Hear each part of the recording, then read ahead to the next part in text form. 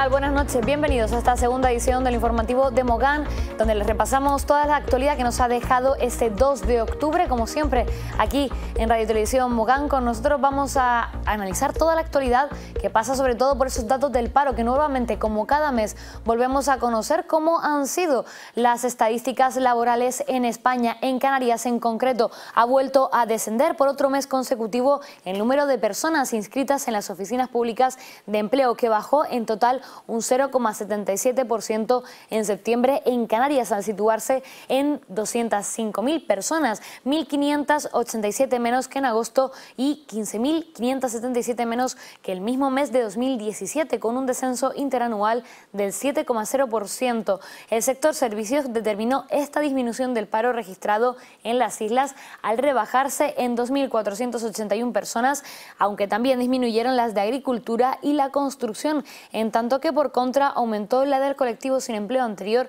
que anotó una subida de 991 personas. No obstante, los servicios continúan copando la mayor parte del número de desempleados de las islas. Estos datos del paro que como cada mes conocemos a través del Ministerio de Trabajo que ofrece un resumen de cómo ha evaluado el mes en cuestión de trabajo y de empleo. Continuamos con más noticias titulares hasta ahora de la jornada importantes para Canarias, ya que el vicepresidente del Gobierno autonómico, Pablo Rodríguez, asegura que el precio de los billetes no ha aumentado a pesar de las demandas constantes vecinales de esta subida. El Gobierno de Canario no tiene constancia de que se haya producido una subida artificial de precios de los billetes aéreos entre las islas ni con la península tras la entrada en vigor del 70% de descuento, el 75%, perdón. Sin embargo, el Ejecutivo Regional sí exige al Ministerio de Fomento que haga públicos los datos y conclusiones del Observatorio de Precios que supervisa este departamento para controlar la evolución de las tarifas del transporte aéreo. Así lo revelaba el propio consejero de Transportes del Gobierno Autonómico en un encuentro organizado por el periódico La Provincia,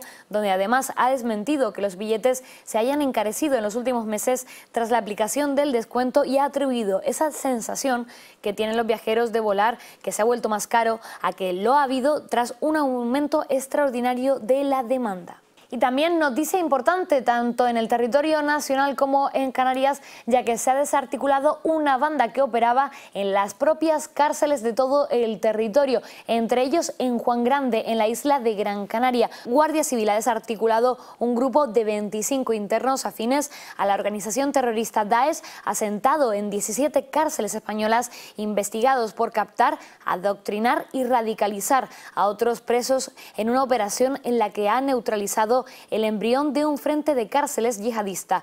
Una de estas detenciones se ha realizado en el Centro Penitenciario de Las Palmas 2 en Juan Grande. Su objetivo ha sido recopilar pruebas que permitan esclarecer la actividad de este grupo investigado, compuesto tanto por presos con antecedentes previos por delito de terrorismo yihadista como por reclusos comunes cuyo proceso de radicalización se ha iniciado durante su estancia en prisión. Y ya saben que los presupuestos participativos en el municipio de Mogán han finalizado ya su plazo y el ayuntamiento ha publicado cuál ha sido la propuesta finalmente elegida. Vamos a escuchar de la mano de la concejala de Participación Ciudadana, Pino González, más detalles de cómo ha sido esta votación y cuál ha sido el resultado final.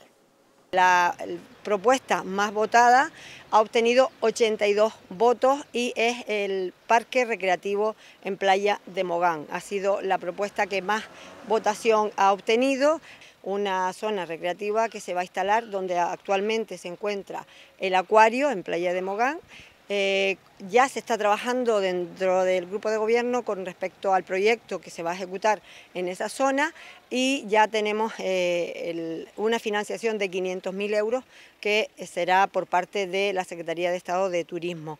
La diferencia del coste de la ejecución de esta obra eh, irá a cargo con los presupuestos participativos del año 2019 esos presupuestos participativos que han tenido un periodo de votación hasta el pasado mes de septiembre para todos los vecinos del municipio de Mogán decidieran cuál era la iniciativa que finalmente verían reflejada en el municipio. Seguimos con más titulares. Aquellos padres y madres que quieran que sus, sus hijos participan en diferentes escuelas de familia, que sepan que ya se encuentra abierto el plazo de inscripción. A partir del el 23 de octubre se podrá realizar esta escuela en familia dirigida a todas aquellas aquellos padres, madres o personas con hijos menores de 8 años a su cargo que deseen enriquecer su aprendizaje en la tarea de criar y educar a sus hijas e hijos conscientes del esfuerzo. El ayuntamiento ha puesto a disposición estas escuelas en familias para que puedan obtener más tiempo para la formación y facilitar así la asistencia con servicio de ludoteca.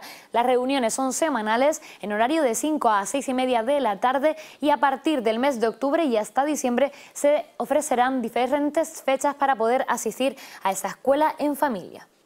Y también ya les informábamos ayer de esa convocatoria abierta para poder solicitar una subvención para mejorar el sector primario y también toda explotación agrícola de la isla de Gran Canaria a través del Cabildo de la isla y también del Ayuntamiento de Mogán. Hasta mañana estará abierto el plazo de solicitud para la convocatoria de subvenciones para este año 2018 para el fomento de la mejora en las instalaciones y maquinaria de las pequeñas explotaciones agrícolas de toda la isla. El objeto es contribuir a la financiación de los gastos de inversión que se realicen en las pequeñas explotaciones de Gran Canaria durante el periodo comprendido entre enero y diciembre de este mismo año. Se subvencionará las instalaciones de riego, también de maquinaria agrícola, equipos de tratamiento fitosanitarios y otros equipos que mejoren la explotación agrícola.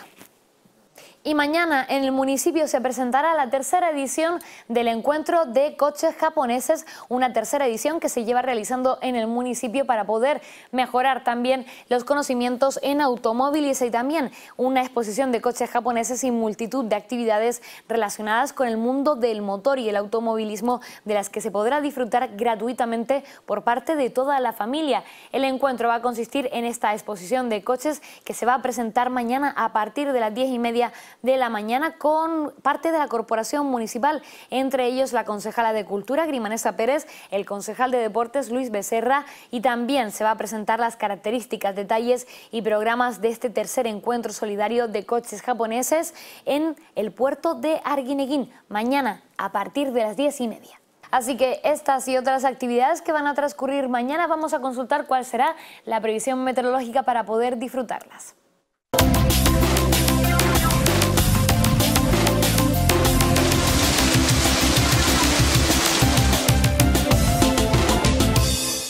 En el norte de las islas de mayor relieve, intervalos nubosos tendiendo a poco nubosos en horas centrales. En el resto de estas islas, poco nuboso con intervalos de nubes altas y nubosidad de evolución, principalmente por la tarde. En Lanzarote y Fuerteventura, intervalos matinales en el norte y poco nubosos con intervalos de nubes altas en el resto. Y en Gran Canaria, en el norte, intervalos nubosos tendiendo a poco nuboso en horas centrales, en el resto poco nuboso con intervalos de nubes altas y nubosidad de evolución, principalmente por la tarde, temperaturas sin cambios o en ligero descenso. Y la predicción meteorológica para este miércoles 3 de octubre en el municipio de Mogán nos deja temperaturas mínimas de 19 grados, máximas de 28 grados. Los cielos estarán nubosos y también se apreciará algo de calima, aunque no habrá probabilidad de precipitaciones.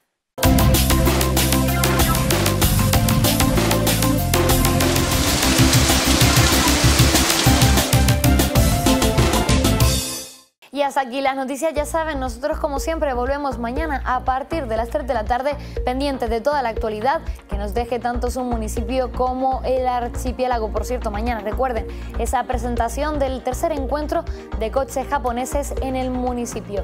Ya saben, nos vemos mañana a partir de las 3 de la tarde. Que disfruten, pasen buena noche.